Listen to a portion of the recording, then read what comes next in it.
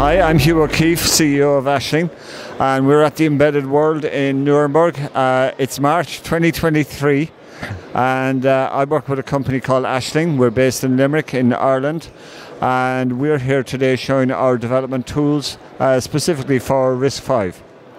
So if you take a look behind me, you'll see on the screen uh, we're running RiscFree, which is our integrated development environment and debugger. So this demo is essentially um, using our, our tools to work with the IP core running on the board and to allow debug of the board and to allow trace capture of the board. The PC is connected to uh, Vitra XS, which is the Ashling debug and trace probe.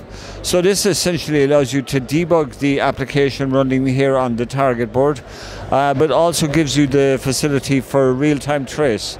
So debug allows you to download your program, to step through your program, look at variables in your program, uh, check out the register values, check out memory. And um, trace is uh, another level up uh, of debug.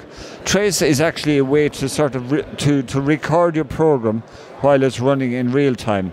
And that information is captured uh, over this cable. If we look here, this is uh, RiscFree. So here you have a number of different views or windows that we call uh, that show you various internal states of your target. Um, here you can see the source code or the application code that we're actually running. Over here you can see um, a memory view showing you the, the memory. Up here you have a disassembly view. And in here, the most important window of all, this is the real-time trace capture. So as information is captured in real time and brought up to the host, it's decoded and displayed here.